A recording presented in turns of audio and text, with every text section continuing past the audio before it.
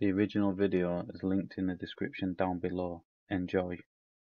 Alright then, so we're looking at autistic audits again today, and this time he's outside of a magistrate's court and he gets uh, confronted by a G4S worker. Let's see how it goes.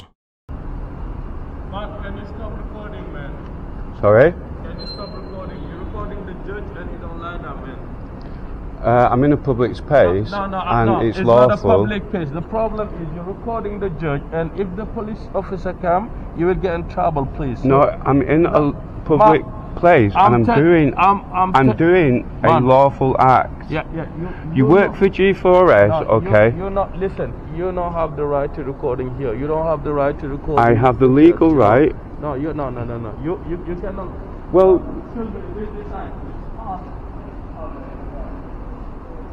you know, we've got another G4S tyrant.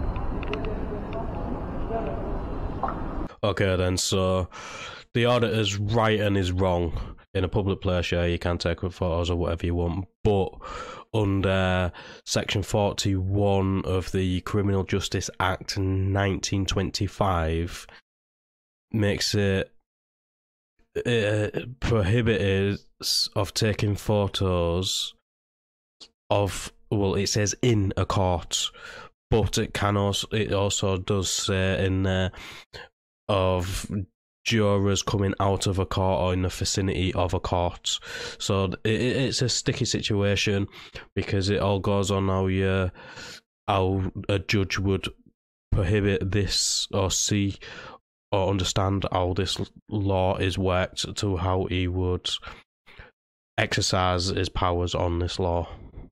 But it's a weird one.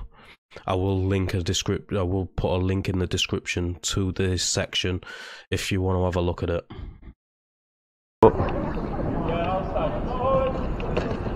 Sorry? What? No, I'm going round here, me, mate. I, I don't know what you're going on about. Bye.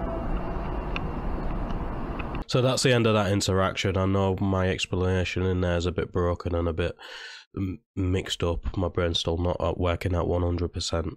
But let us know in the comments down below what you thought of this interaction. As always, like the videos, it does help in YouTube's algorithm. And I'll catch you on the next one.